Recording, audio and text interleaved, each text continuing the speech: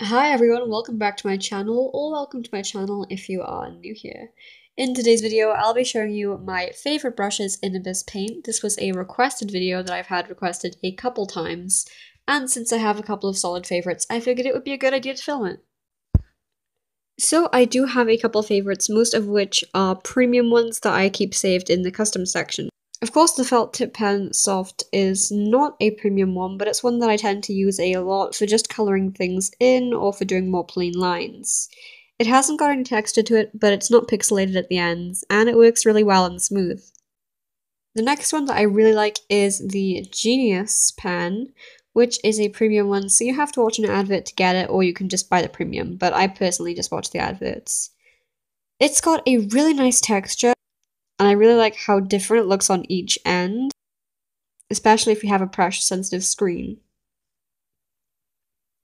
It's just a really nice brush and you'll see most of my drawings have the line art with this brush because I enjoy the texture.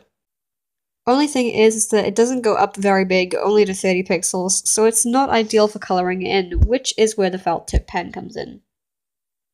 Next is the blurring brush one. I'm not sure if this is a premium one or not, but I think it probably is. With this one, it has a really nice texture, and I tend to use this brush to texture areas that I have already coloured. I keep it on a lower opacity, so somewhere around the 50 to 60 area, sometimes even lower, and it just looks really, really nice. I like the effect. If you put on a higher opacity, then it would work well as a digital painting sort of tool as well. It works especially well for texturing though, because if I colored this area in and then made a clipping layer for it, then you can see we can sort of texture it if we're on a low opacity, and I think it can make it look really nice.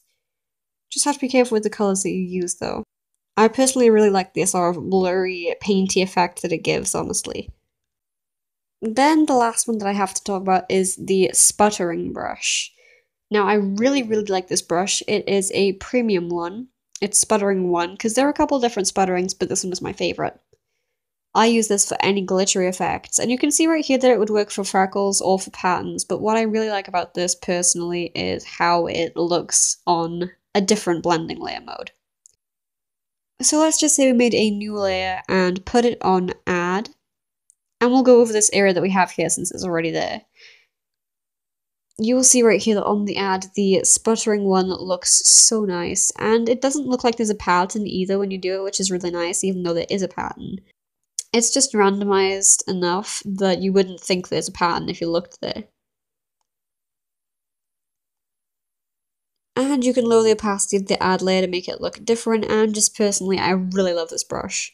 It changes depending on what color you use as well, obviously with the ad, so it can add some real depth and texture if you go with just white, then it can be super duper duper bright. But if you go with a really bright color, like the most saturated version of that color, it won't be as bright, but it will still have this really funky looking effect. And I like to just layer over things with this until it looks sort of like this, and it's just really fun to do. Those are my four favorite pens. There are a bunch of other really nice ones, but these ones stand out the most to me and they're my favorite to use, and I tend to use them in like pretty much every drawing. If you guys could tell me your favorite brushes, then that would be pretty cool. It's interesting seeing how everyone likes different things and uses different tools when they draw. Thank you for watching, I hope that you enjoyed, and if you did, maybe consider supporting. Bye!